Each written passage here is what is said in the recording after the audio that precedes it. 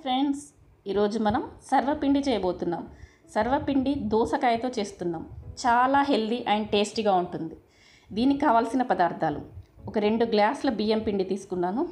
ఉల్లిపాయలు కట్ చేసి ధనియాలు జీలకర్ర పచ్చిమిర్చి వెల్లుల్లి వేరుశనగ పప్పు ఒక పెద్ద సైజు దోసకాయ పొట్టు తీసి సన్నగా తురిమి పెట్టుకోవాలి. అలాగే రుచికి సరిపడా ఉప్పు కారం నూనె కరివేపాకు సన్నగా తరిగి పెట్టుకోవాలి. శనగపప్పు కొద్దిగా వాటర్లో వేసి నానబెట్టుకోవాలి. ఒక హాఫ్ అన్ అవర్. నువ్వులు. ఇప్పుడు చేసే విధానాన్ని చూద్దాం. ఇప్పుడు ఒక పెద్ద సైజ్ బేసిన్ తీసుకొని అందులో బియ్యం పిండిని వేసుకోండి. దాంట్లో వేయించి పెట్టిన పల్లీలు పుట్టి తీసి పెట్టినవి కట్ చేసి పెట్టుకున్న ఉల్లిపాయలు అలాగే సన్నగా తురుముకున్న దోసకాయ పెద్ద సైజుది. ఈ దోసకాయలో చాలా హెల్త్ బెనిఫిట్స్ ఉన్నాయండి. బాడీని డీహైడ్రేట్ చేస్తుంది వైటమిన్స్ అండ్ మినరల్స్ చాలా ఉంటాయి.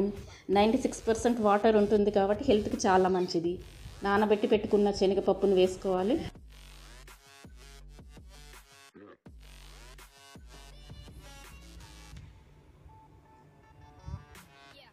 రుచికి సరిపడా ఉప్పు అలాగే కారం పచ్చిమిరపకాయలు వేస్తున్నాం కాబట్టి కొద్దిగా కారం వేసుకోవాలి సరిపడంత. పచ్చిమిర్చి ధనియాలు జీలకర్ర వెల్లుల్లిపాయలు అన్నీ కలిపి ఇలా కచ్చా పచ్చగా గ్రైండ్ చేసి పెట్టుకోవాలి. ఇప్పుడు ఆ మిశ్రమాన్ని కూడా ఇందులో వేసి కలపాలి. కరివేపాకు సన్నగా తరిగి శుభ్రంగా కడుక్కొని పిండిలో వేసేయాలి.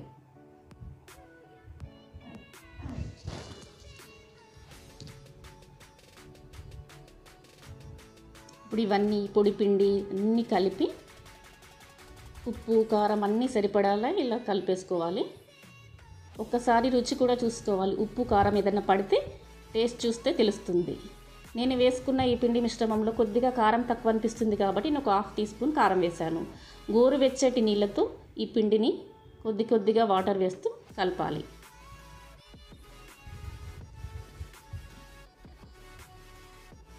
ఇప్పుడు మళ్ళీ పిండిని బాగా కలిపి ఇలా గట్టిగా ఒత్తుతూ ముద్దలా చేస్తూ బాగా కలపాలి.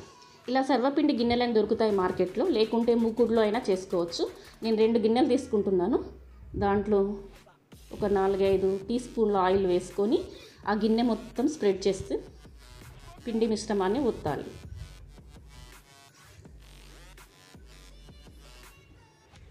ఇలా పెద్ద సైజు ముద్ద లాంటివి తీసుకొని బాగా నలిపి ఒత్తి కొంచెం కొంచెం ఒత్తుతూ మధ్యలో పెట్టి మొత్తం స్ప్రెడ్ చేసేయాలి.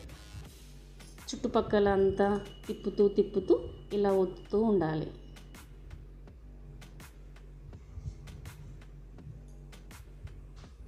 పిండితో మొత్తం కవర్ చేసేయాలి. అంతా ఒకే మాదిరి పెట్టుకోవాలి. అలానే మళ్ళీ సన్నగా కాకుండా దొడ్డుగా కాకుండా మీడియం సైజులో వత్తండి చిన్న చిన్న రంధ్రాలు ఒక నాలుగు ఐదు చేసుకోవాలి. ఎందుకంటే నూనె వేస్తే అందులో నుండి బాగా కాగుతుంది. అలాగే మంచి కలర్ కూడా వస్తుంది. ఈజీగా కాగుతుంది. ఇప్పుడు మూత పెట్టి స్టవ్ ఆన్ చేసి హై ఫ్లేమ్లో ఒక ఫైవ్ మినిట్స్ ఉంచాలి. ఫైవ్ మినిట్స్ తర్వాత ఒకసారి ఇలా మూత తీసి చూస్తే ఆయిల్ పైకి ఇలా తేలుతూ ఉంటుంది. అప్పుడు దాన్ని తిప్పుతూ ఇలా చుట్టుపక్కలంతా ఆయిల్ స్ప్రెడ్ అయ్యేలా చూస్తూ ఉండాలి.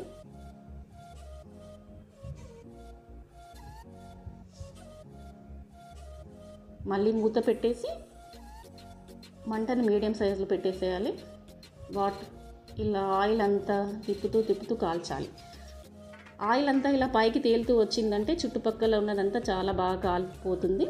ఇప్పుడు ఆ ఎక్స్ట్రా ఉన్న ఆయిల్ని వేరే గిన్నెలో పెట్టుకున్న పిండి మిశ్రమంలో వేసి మొత్తం ఆయిల్ లేకుండా పంపేసేయాలి ఒక టూ మినిట్స్ తర్వాత అందులో నుండి తీస్తే ఇలా క్రిస్పీగా మెత్తగా చాలా టేస్టీగా ఉండే సర్వపిండి రెడీ అయింది.